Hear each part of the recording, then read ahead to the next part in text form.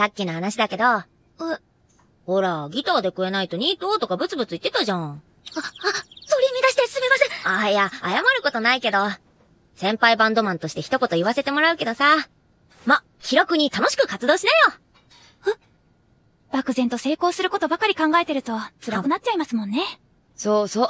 夢を叶えていくプロセスを楽しんでいくのが大事だからな。